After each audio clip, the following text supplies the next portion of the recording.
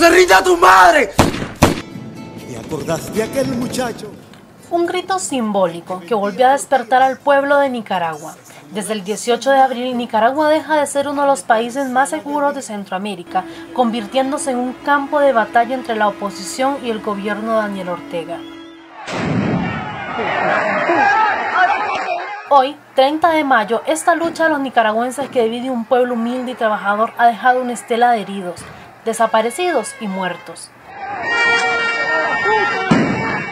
Hoy Día de las Madres Nicaragüenses, los inmigrantes se hacen presentes en las embajadas de cada uno de los países donde residen. Esta vez no para celebrar, sino para demostrar su dolor por sus muertos y un pueblo dividido. Jeffrey López, de la organización costarricense Dixo, rechaza los hechos de violencia que vive el vecino país del norte. Nosotros creemos que esta situación que hoy se vive la inició el gobierno al reprimir violentamente y al asesinar a jóvenes que salieron con, todo su derecho a protestar en un primer momento por la, por la negligencia con la que el gobierno de Nicaragua este, enfrentó el, el incendio en la reserva de maíz y luego por las reformas que se plantearon al INS, que también salieron los muchachos y las muchachas universitarias a protestar y la respuesta fue brutal. Fue una respuesta que es inaceptable, injustificable y desde todo punto de vista condenable.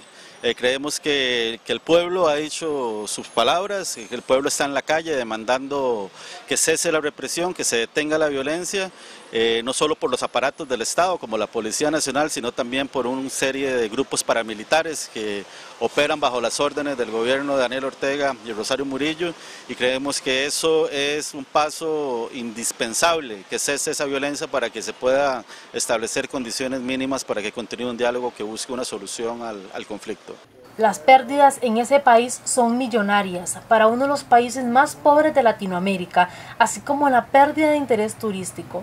Sin embargo, la oposición sigue diciendo no al diálogo con un gobierno que se ha vuelto represivo con su pueblo.